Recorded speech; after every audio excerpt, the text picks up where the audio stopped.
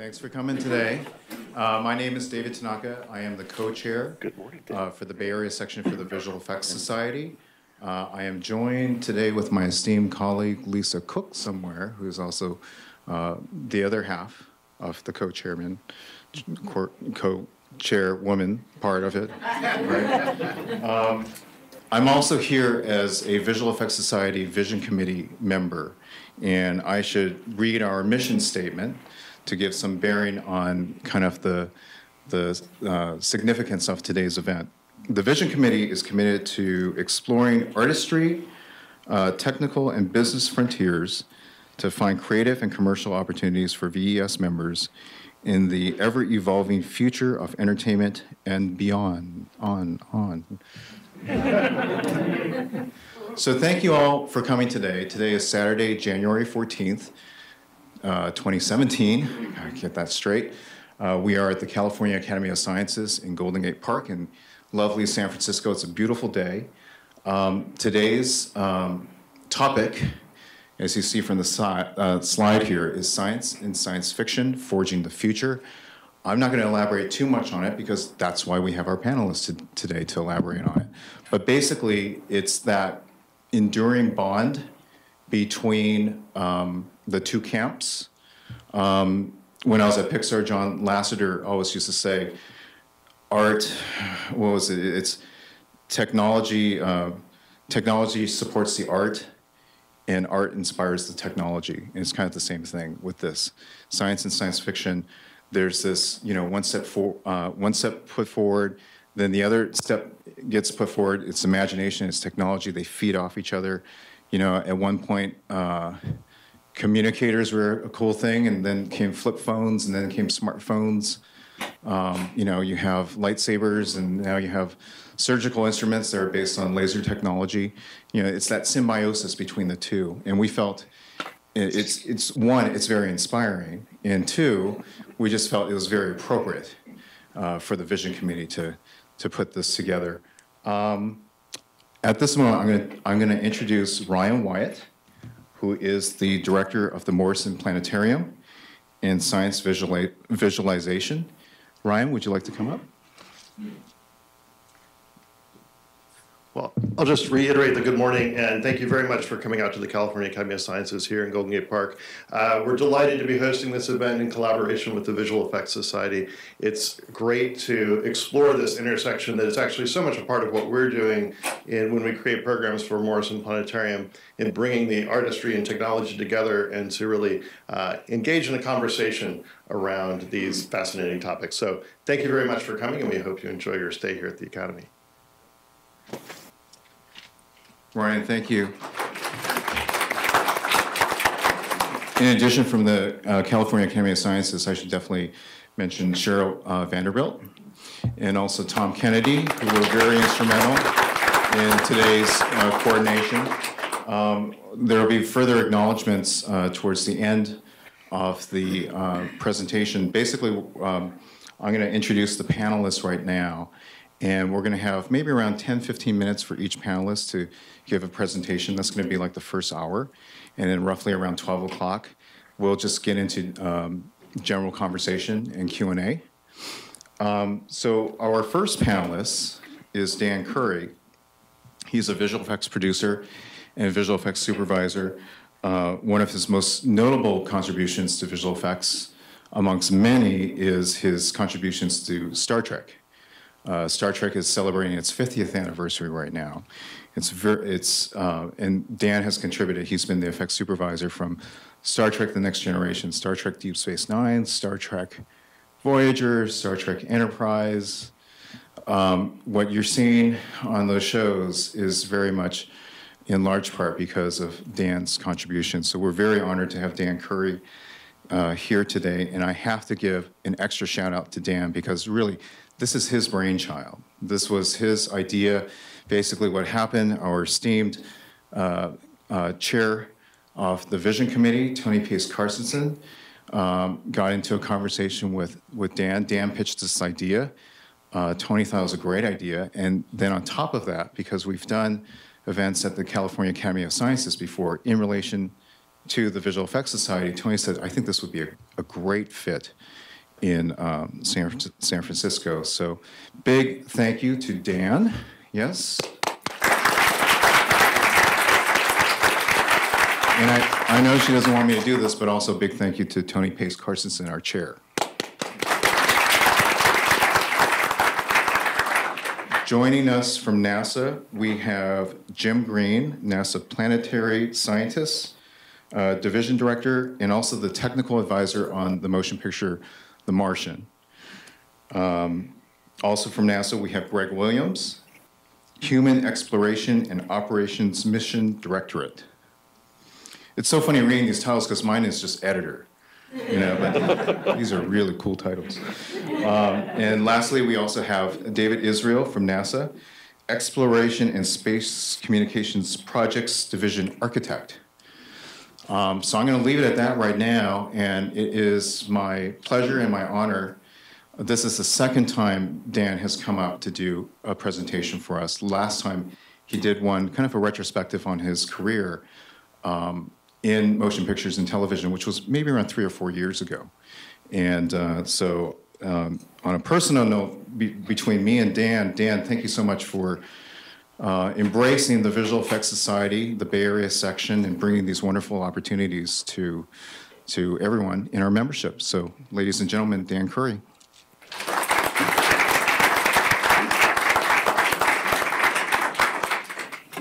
Thank you, David. Um, Science fiction or uh, speculative fiction has been around as long as people have been telling each other stories. And people have a tendency to look around, assess the world as it, as it is, see what technology is available, and then ask themselves the uh, time immemorial question, what if? And that's the role of, of science fiction. Uh, imagination is at the, the core of our being as a species. And uh, there are the dreamers and the doers. And the, the dreamers are the uh, people that create science fiction or speculative fiction. And those are the people that w- see what's at hand to say, hey, what if we did that? What if we did that? What if there were aliens on the moon? What if ships could go underwater. And scientists are the explorers for truth, and they they dream in their own way, and they are uh, sometimes inspired by the dreams of of the uh, the science fiction creators, and sometimes the science fiction creators are the beneficiaries of science and new scientific discoveries change science fiction. And uh, I call it the symbiotic relationship between science fiction and real science. And one of the fathers of, of science fiction is Jules Verne. But way before him, some of the earliest literature can be categorized as science fiction. Beowulf. In, in ancient Rome, uh, Apuleius wrote uh, uh, The Golden Ass. Uh, some people might think that was a prophetic vision of a uh, future commander in chief. Um, uh, Japanese Noh theater is uh, primarily science fiction. If, you if you're un, unfamiliar with that art form, it came about during the Tokugawa period where these uh, horrendous civil wars and uh, uh Noh theater is, takes place on these uh, square pine stages with giant ceramic jugs underneath, and it takes two years for the actors to learn how to walk. And some of the stories entail uh, strange energy coming from outer space, turning villagers into mushrooms. Um, so it, has been around uh, for a long time, but uh, Jules Verne uh, was born in 1828. Um, created a lot of what we uh, uh, or have been inspired by. I know uh, myself uh, looking at some of these images of technology and where Jules Verne's imagination took it with these wonderful machines that could fly and do all sorts of stuff. Of his voyage to the moon, I always loved these early submarines. And when I was eight years old, my mother took me to see 20,000 Leagues Under the Sea. And I was so inspired by it. My mother had a cavalier attitude about getting to the movies in time to see the beginning. So we would frequently walk into the middle of the movie and she, well, you just see the beginning later. And so the, uh, so the, when we walked into the Floral Theater in Floral Park, New York, uh, there on the screen was a profile of uh, Walt Disney's Nautilus. And I was so inspired by that, uh, this incredible ship that I went home and I made this out of short cardboard. And my mother saved it, and I still have it after all these years. H.G. Wells, uh, uh, some of Jules Verne's uh, greatest uh, uh, works, um, many of them turned into films Journey to the Center of the Earth, 20,000 Leagues Under the Sea, Around the World in 80 Days, Five Weeks in a Balloon, uh, all inspirational pieces for, for me and many visual effects artists of my generation. H.G. Wells, I have the great pleasure of knowing his great grandson, Simon Wells, great guitar player and uh, director. He directed Prince of Egypt and the remake of The Time Machine. Uh, but uh, George Pal's with Rod Taylor, uh, First Men in the Moon, and the, this is Raymond Massey in Things to Come uh, with had great airplanes that had balconies. And of course, War of the Worlds, which has been done many, many times. And uh, of course, and the great Orson Welles uh, 1930s radio show, which scared everybody in the Northeast. And one of my favorite alien ships of all time from George Pal's version of War of the Worlds. I remember as a, as a boy seeing that, it was so creepy.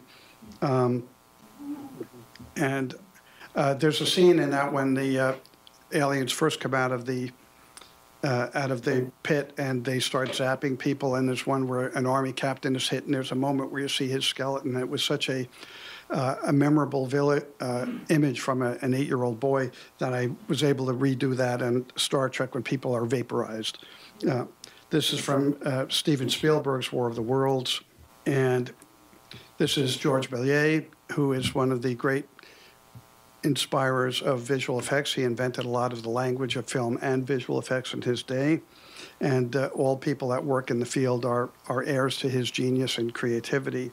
There's a, an apocryphal story, which may or may not be true, where he was standing experimenting with an early movie camera, cranking it, and it jammed for a moment, and uh, then started cranking it again. And when he, he went back and developed the film, by a miraculous happenstance, uh, there was a horse-drawn bus that was suddenly replaced by a hearse, and the light bulb went on, and he realized he could do stuff with uh, visual prestidigitation uh, that was not possible uh, to do on on stage. He was also a, a stage performer, and so this became this the symbol of the VES award and one of our logos. This is the VES award, and his great voyage to the moon uh, used a lot of things like forced perspective miniatures, uh, matte paintings, uh, and of course a bevy of uh, proto Victoria's Secrets models.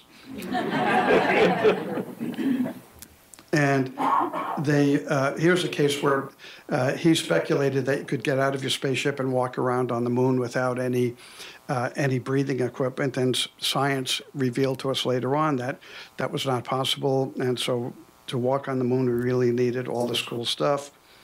And uh, here are the Selenites, the insectoid people on the moon, which in a way reappeared in Star Trek. Um, and Jules Verne envisioned an ocean landing, and guess what? That's what we had in some of the early astronauts. Here's Fritz Lang's Woman in the Moon. Again, people walking around on the moon without without any breathing equipment. And here's the real landing. And this is from Flash Gordon uh, and uh, Buster Crabbe and Ming the Merciless. And that became very popular in the uh, in modern uh, culture. And I actually worked on this one. This is uh, Max von Sydow as Ming the Merciless. And here is one of my most treasured comic books from Earth to Moon. And this is from George Pal's uh, film. I think it was uh, Conquest of Space or When Worlds Collide. And we've been interested in going to the moon. Here's Tintin. And I, I believe this is George Pal and his wife on set, but I may be wrong. And early spaceships, uh, spacesuits, and here's what things really look like. One of the most im- important things on that happened is when we first saw real photographs of the of the Earth from space. It really changed how we even perceive ourselves. There's something called the overview effect, which is the changes that come to people who have that opportunity, uh, astronauts. And but it also culturally has affected us by we could see what the Earth really looks like, and. Uh, Here's uh, Chesley Bonestell, one of the early uh, science painters, science fiction painters. Imagined the surface of the moon looked like cracked mud flats, and uh, we found out that it really wasn't the case. And of course, uh, Woody Woodpecker knew the truth all along. And uh, here's more of Chesley Bonestell. This is from 2001. And uh, this is contrasting uh, the uh, destination moon with uh, Buzz Aldrin standing on the moon. Here's more Chesley Bonestell work and comparing spacesuits. These are about the worst ones ever made on screen. uh, Star Trek was frequently challenged by uh, budget limitations, and this looks like they used some window screens. And th- this was from uh, Deep Space Nine, Scott Bakula. And what was great about these, working with the uh, uh, costume uh, designer Bob Blackman, uh, we knew uh, we wanted to do more extravehicular work on Deep Space Nine than had done on previous Star Treks. And and Bob Blackman found this material that had the same specularity as CG uh, people, and so that was our choice for uh, both technical and artistic reasons. And some images from this kind of stuff was around when I was a kid. And here's a case of a painting of the Earth uh, from Destination Moon, and here's a real photograph of it. Conquest of Space. And here's uh, some of the early space stations. And here's the famous 2001 space station. And this poster, a friend of mine who was working at Boss Film was walking when they were closing the company. He walked by a dumpster and he saw this image in the dumpster and he went over and said, Well, I'd like to get that poster. Why throw it out? And to his uh, pleasant surprise, it was the original painting. Um, this is the uh, uh, space station from Deep Space Nine, and this is the Discovery from 2001.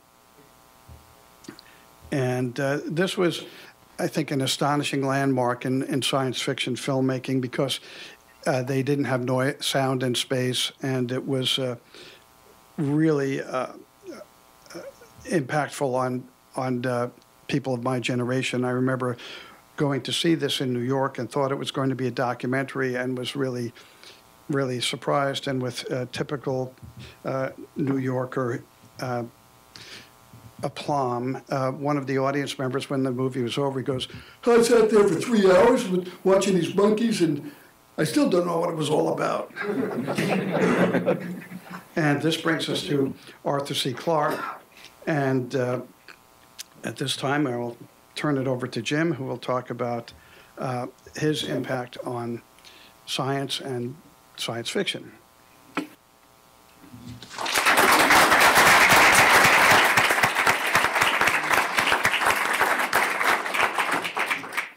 Thank you very much. We'll get uh, the next set of slides set up. In the meantime, let me uh, just start mentioning a few things. Um, 50 years ago, everything that we knew about our solar system we got from the back end of a telescope or from pieces of rock that fell from the heavens that we really hardly understood how they were created, how they got to Earth, and what they meant about the origin and evolution of our solar system. In these 50 years, NASA has visited every planet in the solar system. All major groups of what we believe make up our solar system now, we have a basic understanding. but it's just the start. You know, the more we understand about our neighborhood, the more we understand about our planets, the more we understand about the fate of the Earth and what will happen in its future. We are so lucky in our solar system to have terrestrial planets like Venus and Mars. And we know enough about stellar evolution to know how the sun will change over time. And over time, if we are as a species to survive, we must leave this planet and move out into the solar system. And so, what I want to talk about today primarily is about Mars, is about the next potential destination for humans. Now, in NASA, human exploration is not Star Trek. It's not go where no human has gone before. It's really all about understanding and studying an environment and being able to anticipate problems that may come up, resources that are there that we can use, and reduce the risk for humans going, living, working, and returning. When we first flew by Mars in 1964, 52 years ago, it was cratered. We only had a piece that we could see. It looked far moon like than it did uh, any other planet that we had seen before. This really set us back because Mars is a fairly significant terrestrial planet. It's a little larger than half the size of our Earth. It has an atmosphere. It has many features associated with it that we from telescopes had dreamed about, from the polar caps to, to Edgar Rice Burroughs' John Carter on Mars and, and, and, and, and all the other science fiction that came with that was shattered for our scientists because it looked more moon-like. Well, we have continued as a world to visit Mars with a variety of missions. And those missions have really told us and showed us that Mars is a very different place than the moon. Mars is a place that's far more Earth like than we ever imagined before. And it really is all about the missions that we have launched to be able to interrogate that planet and take a look at it. So um, let me this is a movie I want to uh, talk about in, in the last 20 years, the kind of missions that uh, we have launched to Mars.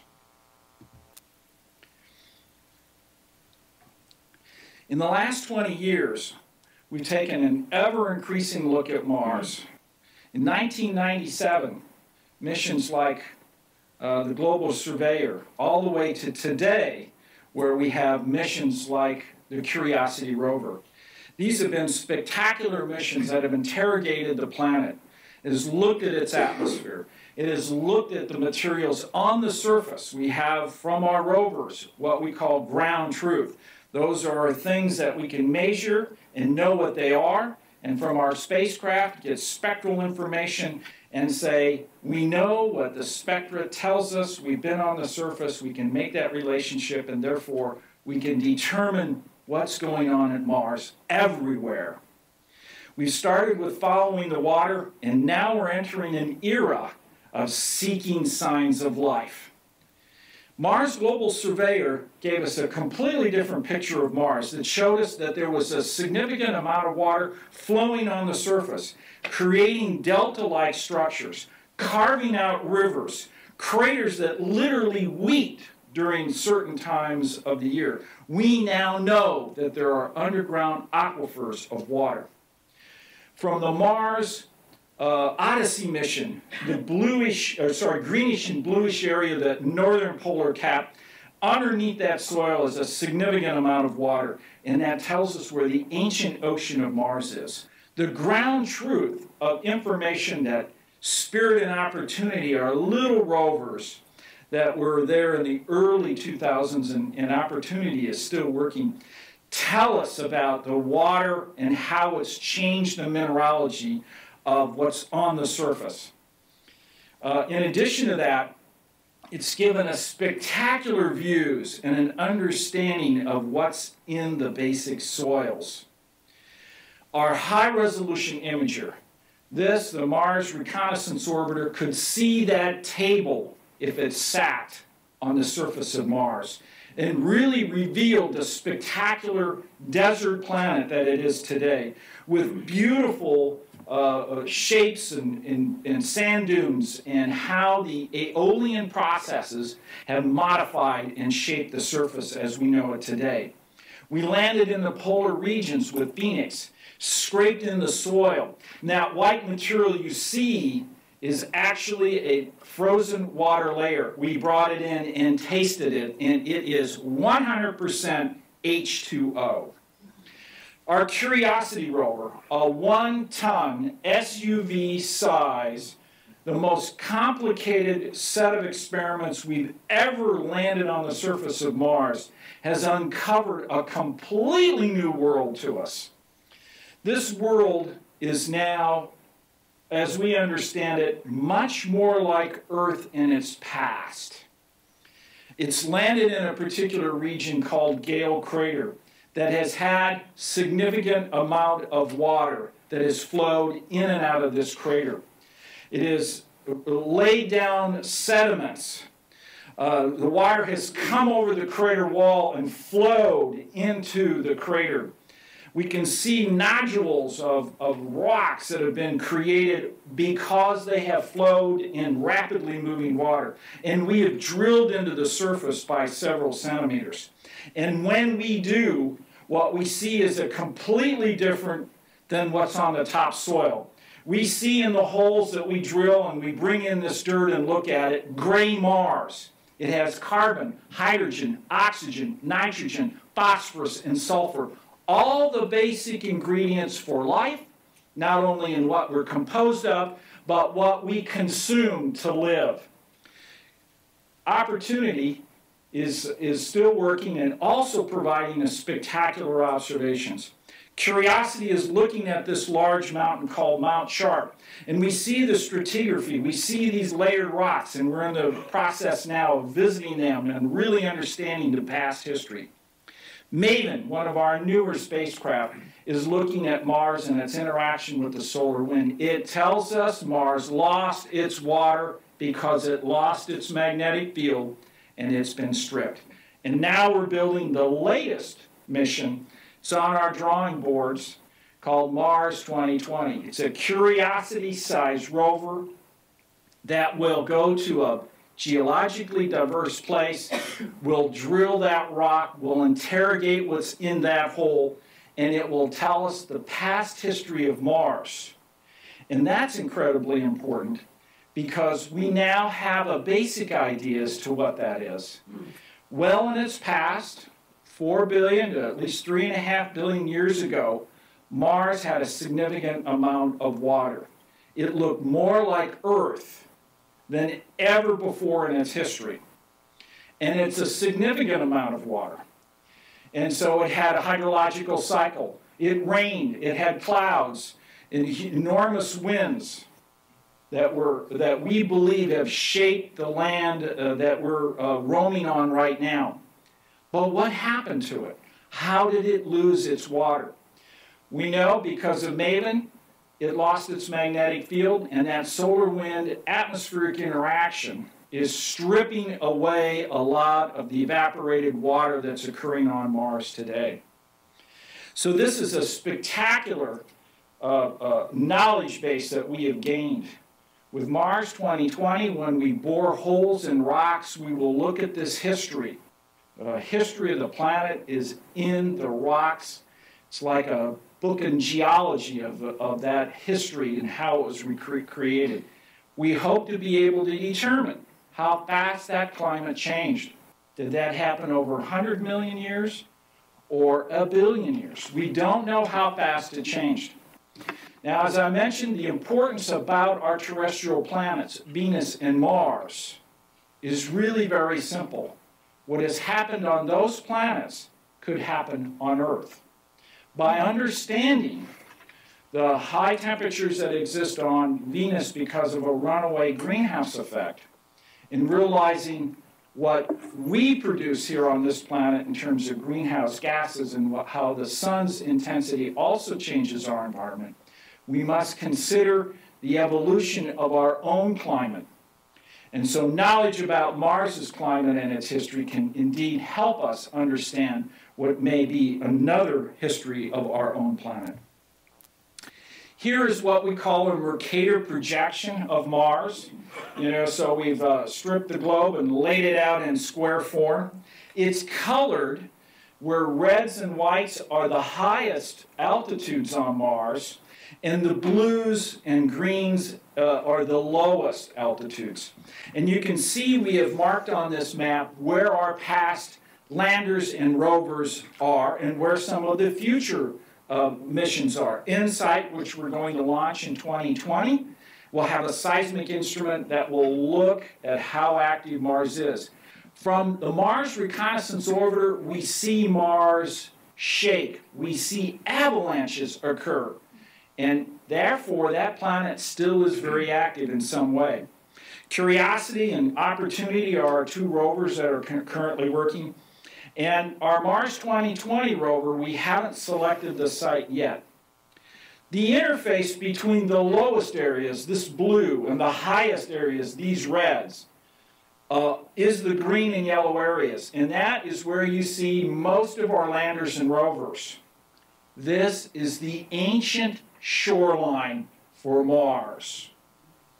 If we're looking now for signs of life, this is an area where life may have moved out of the water onto the land in an evolutionary process that we believe also occurred here on Earth. And that must be tracked in the rock record. In the future, as I mentioned, we have InSight, where there's also possibilities of commercial landings on Mars. Elon Musk, in, in, in uh, with his Red Dragon, uh, is going to take a shot at landing on Mars and using many of these opportunities and actually landing a capsule that could, in the future, contain humans onto the surface of Mars.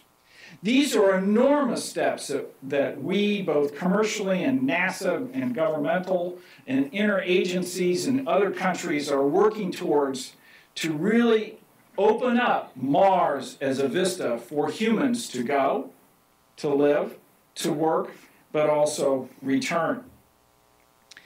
One of the major steps in this direction that we're working uh, within NASA, we call a human exploration zone. And these human exploration zones are areas where humans will go, they'll land in one area, they'll live in another area, and they will work and work in science and understand uh, the mineralogy and the type of uh, material that's on the surface in these areas that they can use in their 3D printers or extraction of water or go down into uh, aquifers and being able uh, to obtain perhaps microbial life that may exist underneath the surface of Mars. These human exploration zones are about 200 kilometers uh, NASA's approach is not quite like what you've seen in The Martian. The Martian had a number of sites called Ares 1, Ares 2, Ares 3. Ares being the Greek name for Mars. And of course, Mark Watney uh, had to go from Ares 3 to Ares 4, which is where the next location was. He was in an exploration zone he had his rovers, and we have our rovers also that they that the movie modeled um, uh, how we were going to uh, uh, move around in this uh, exploration zone region. But of course, NASA's plans are a little different. NASA's plans are we're going to go to one particular area after we select it not once, but multiple times. We're not going to go in many different areas. We're going to build up the capability in one area. And so this particular area has to be rich in resources. not only in, in being able to use and live off the land, but also to be able to really give us uh, as scientists the opportunity to understand this environment better by going to different regions in the exploration zone and conducting science. Currently today, uh, these are the sites that we're considering for human exploration. We're training all our satellite information now that we're collecting to understand each and every one of them and develop the pros and cons necessary for us in the next several years to down select to only a few and then eventually, sometime in the 2020s, pick one and go to it. And, and so, from a scientific point of view and a human exploration point of view, uh, we're really on Mars now, and there's an evolution between our robotic systems into our human systems. And in the era where humans will live and work on Mars, there'll be plenty of robotic activity going on that will support them. And so, with that, uh, let me turn it over to Greg Williams to tell you more about what we're doing to get ready to make this venture happen. Thank you very much. And now we're entering an era of seeking signs of life. Mars Global Surveyor gave us a completely different picture of Mars that showed us that there was a significant amount of water flowing on the surface, creating delta-like structures carving out rivers, craters that literally weep during certain times of the year. We now know that there are underground aquifers of water. From the Mars uh, Odyssey mission, the bluish, or sorry, greenish and bluish area, the northern polar cap, underneath that soil is a significant amount of water, and that tells us where the ancient ocean of Mars is. The ground truth of information that Spirit and Opportunity are little rovers that were there in the early 2000s, and, and Opportunity is still working. Tell us about the water and how it's changed the mineralogy of what's on the surface. Uh, in addition to that, it's given us spectacular views and an understanding of what's in the basic soils. Our high resolution imager this, the Mars Reconnaissance Orbiter, could see that table if it sat on the surface of Mars and really revealed the spectacular desert planet that it is today with beautiful uh, uh, shapes and, and, and, sand dunes and how the aeolian processes have modified and shaped the surface as we know it today. We landed in the polar regions with Phoenix scraped in the soil. Now, white material you see is actually a frozen water layer. We brought it in and tasted it, and it is 100% H2O. Our Curiosity rover, a one ton SUV size, the most complicated set of experiments we've ever landed on the surface of Mars, has uncovered a completely new world to us. This world is now, as we understand it, much more like Earth in its past. It's landed in a particular region called Gale Crater that has had significant amount of water that has flowed in and out of this crater. It has laid down sediments. Uh, the water has come over the crater wall and flowed into the crater we can see nodules of, of rocks that have been created because they have flowed in rapidly moving water. And we have drilled into the surface by several centimeters. And when we do, what we see is a completely different than what's on the top soil. We see significant amount of water that has flowed in and out of this crater. It is laid down sediments uh, the water has come over the crater wall and flowed into the crater. We can see nodules of, of rocks that have been created because they have flowed in rapidly moving water. And we have drilled into the surface by several centimeters. And when we do, what we see is a completely different than what's on the top soil. We see in the holes that we drill and we bring in this dirt and look at it, gray Mars. It has carbon, hydrogen, oxygen, nitrogen, phosphorus, and sulfur. All the basic ingredients for life, not only in what we're composed of, but what we consume to live. Opportunity is, is still working and also providing us spectacular observations. Curiosity is looking at this large mountain called Mount Sharp, and we see the stratigraphy. We see these layered rocks, and we're in the process now of visiting them and really understanding the past history. MAVEN, one of our newer spacecraft, is looking at Mars and its interaction with the solar wind. It tells us Mars lost its water because it lost its magnetic field and it's been stripped.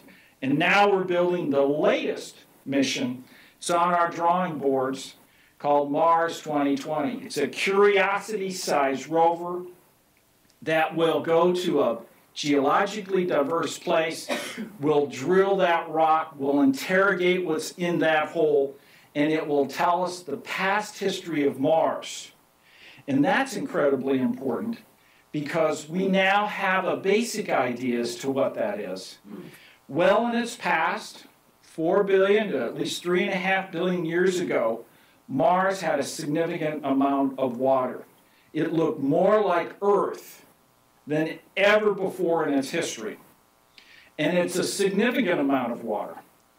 And so it had a hydrological cycle. It rained, it had clouds, and enormous winds that, were, that we believe have shaped the land uh, that we're uh, roaming on right now. But what happened to it? How did it lose its water?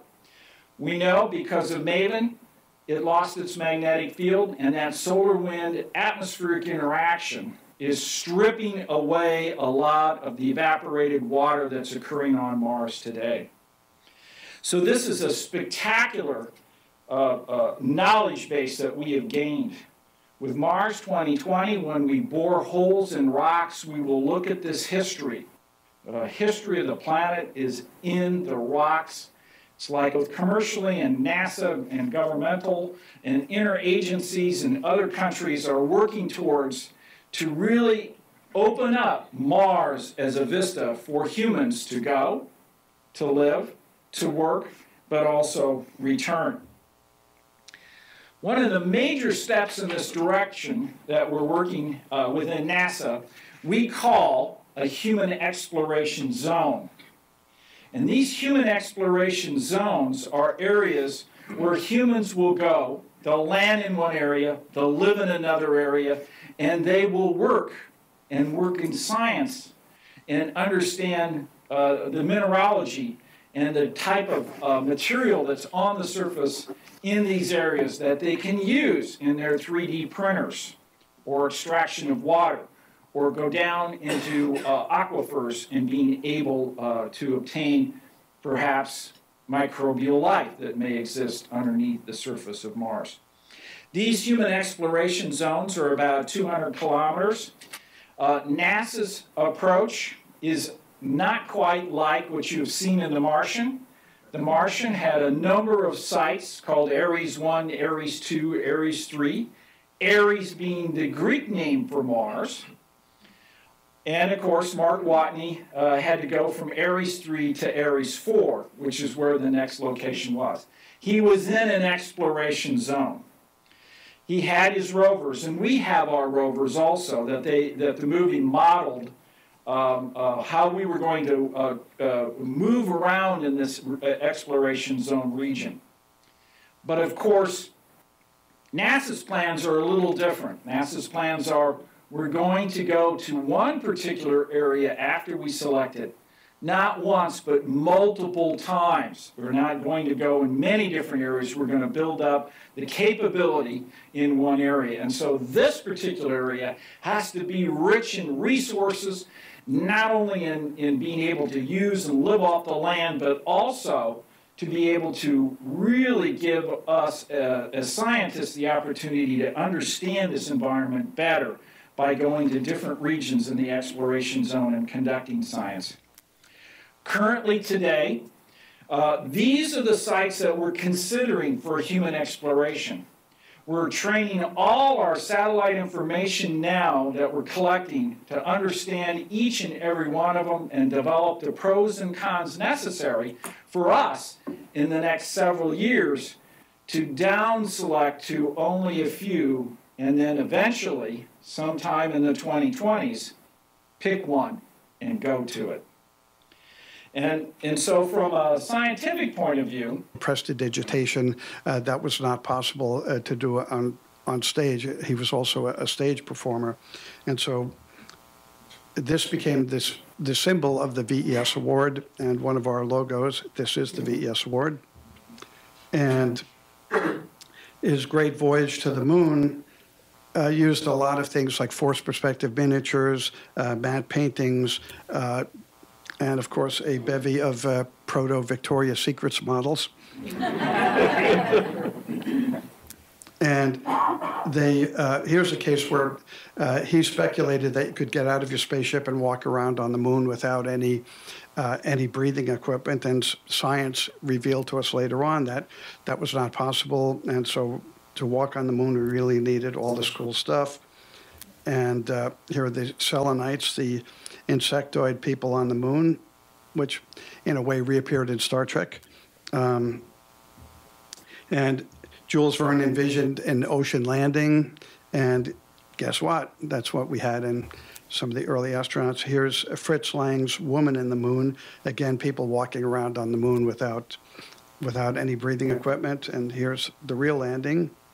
And this is from Flash Gordon uh, and uh, Buster Crabbe and Ming the Merciless, and that became very popular in the uh, in modern uh, culture. And I actually worked on this one. This is uh, uh, Max von Sydow as Ming the Merciless. And here was one of my most treasured comic books from Earth to Moon. And this is from George Pal's uh, film. I think it was uh, Conquest of Space or When Worlds Collide. And we've been interested in going to the moon. Here's Tintin, and I, I believe this is George Pal and his wife on set, but I may be wrong. And early spaceships, uh, spacesuits, and here's what things really look like. One of the most important things on that happened is when we first saw real photographs of the of the Earth from space. It really changed how we even perceive ourselves. There's something called the overview effect, which is the changes that come to people who have that opportunity, uh, astronauts. And, but it also culturally has affected us by we could see what the Earth really looks like. And uh, here's uh, Chesley Bonestell, one of the early uh, science painters, science fiction painters, imagined the surface of the moon looked like cracked mud flats. And uh, we found out that it really wasn't the case. And of course, uh, Woody Woodpecker knew the truth all along.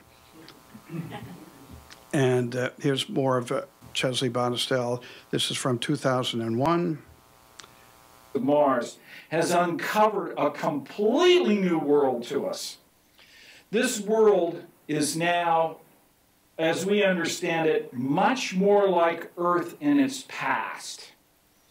It's landed in a particular region called Gale Crater that has had significant amount of water that has flowed in and out of this crater. It has laid down sediments. Uh, the water has come over the crater wall and flowed into the crater. We can see nodules of, of rocks that have been created because they have flowed in rapidly moving water. And we have drilled into the surface by several centimeters. And when we do, what we see is a completely different than what's on the top soil. We see in the holes that we drill and we bring in this dirt and look at it, gray Mars. It has carbon, hydrogen, oxygen, nitrogen, phosphorus, and sulfur. All the basic ingredients for life, not only in what we're composed of, but what we consume to live. Opportunity is, is still working and also providing us spectacular observations. Curiosity is looking at this large mountain called Mount Sharp, and we see the stratigraphy. We see these layered rocks, and we're in the process now of visiting them and really understanding the past history. MAVEN, one of our newer spacecraft, is looking at Mars and its interaction with the solar wind. It tells us Mars lost its water because it lost its magnetic field and it's been stripped. And now we're building the latest mission. It's on our drawing boards called Mars 2020. It's a curiosity sized rover that will go to a geologically diverse place. We'll drill that rock, we'll interrogate what's in that hole, and it will tell us the past history of Mars. And that's incredibly important because we now have a basic idea as to what that is. Well, in its past, 4 billion to at least 3.5 billion years ago, Mars had a significant amount of water. It looked more like Earth than ever before in its history. And it's a significant amount of water. And so it had a hydrological cycle. It rained, it had clouds, and enormous winds that were that we believe have shaped the land uh, that we're uh, roaming on right now. But what happened to it? How did it lose its water? We know because of Maven, it lost its magnetic field, and that solar wind atmospheric interaction is stripping away a lot of the evaporated fiction that came with that. Was shattered for our scientists because it looked more moon-like. Well, we have continued as a world to visit Mars with a variety of missions. And those missions have really told us and showed us that Mars is a very different place than the moon. Mars is a place that's far more Earth like than we ever imagined before. And it really is all about the missions that we have launched to be able to interrogate that planet and take a look at it.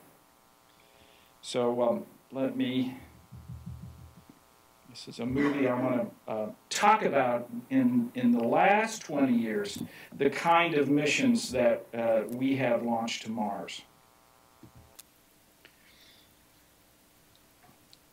In the last 20 years, we've taken an ever increasing look at Mars in 1997, missions like uh, the Global Surveyor, all the way to today, where we have missions like the Curiosity rover. These have been spectacular missions that have interrogated the planet. It has looked at its atmosphere. It has looked at the materials on the surface. We have from our rovers what we call ground truth. Those are things that we can measure and know what they are and from our spacecraft get spectral information and say, we know what the spectra tells us, we've been on the surface, we can make that relationship, and therefore we can determine what's going on at Mars everywhere. We started with following the water, and now we're entering an era of seeking signs of life. Mars Global Surveyor gave us a completely different picture of Mars that showed us that there was a significant amount of water flowing on the surface, creating delta-like structures, carving out rivers, craters that literally weep during certain times of the year. We now know that there are underground aquifers of water. From the Mars uh, Odyssey mission, the bluish, or sorry, greenish and bluish area, the northern polar cap, underneath that soil is a significant amount of water, and that tells us where the ancient ocean of Mars is. The ground truth of information that Spirit and Opportunity are little rovers that were there in the early 2000s and, and Opportunity is still working tell us about the water and how it's changed the mineralogy of what's on the surface. Uh, in addition to that, it's given us spectacular views and an understanding of what's in the bed because they have flowed in rapidly moving water. And we have drilled into the surface by several centimeters. And when we do, what we see is a completely different than what's on the top soil. We see in the holes that we drill and we bring in this dirt and look at it, gray Mars. It has carbon, hydrogen, oxygen, nitrogen, phosphorus, and sulfur. All the basic ingredients for life, not only in what we're composed of, but what we consume to live.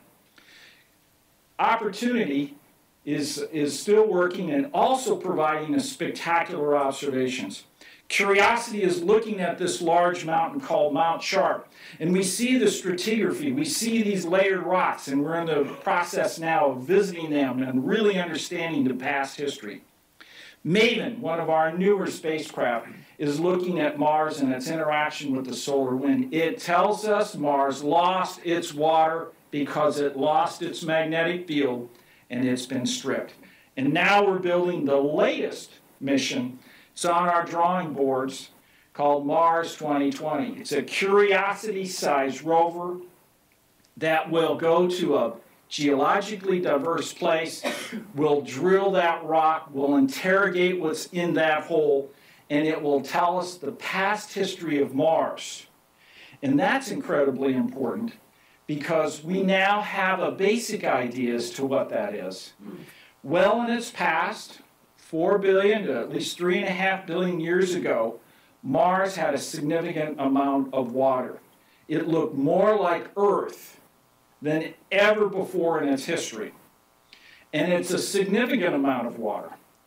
And so it had a hydrological cycle. It rained, it had clouds, and enormous winds that were that we believe have shaped the land uh, that we're uh, roaming on right now. But what happened to it? How did it lose its water? We know because of Maven, it lost its magnetic field, and that solar wind atmospheric interaction is stripping away a lot of the evaporated water that's occurring on Mars today. So, this is a spectacular uh, uh, knowledge base that we have gained. With Mars 2020, when we bore holes in rocks, we will look at this history. The history of the planet is in the rocks. It's like a book in geology of, of that history and how it was created. We hope to be able to determine how fast that climate changed. Did that happen over 100 million years or a billion years? We don't know how fast it changed.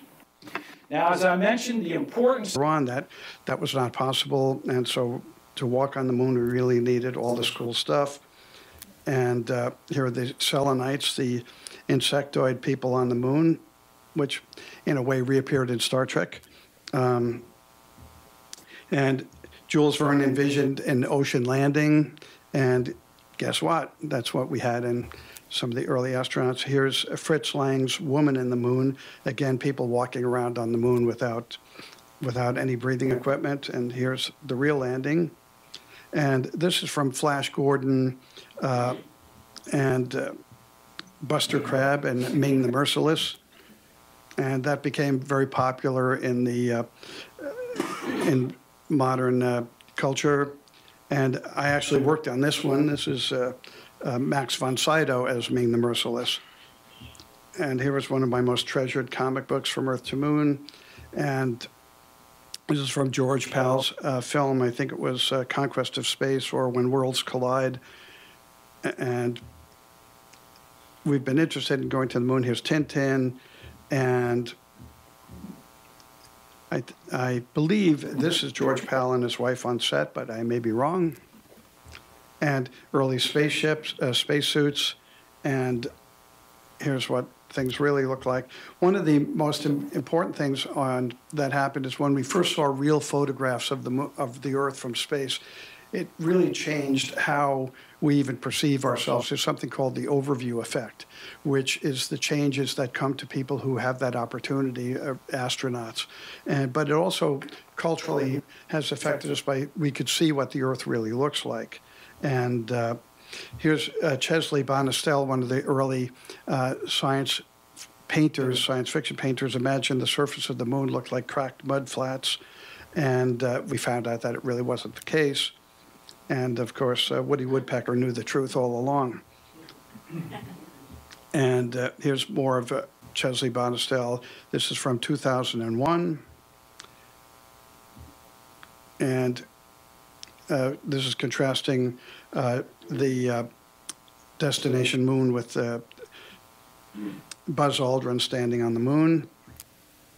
Here's more Chesley Bonestell work and comparing spacesuits. These are about the worst ones ever made on screen.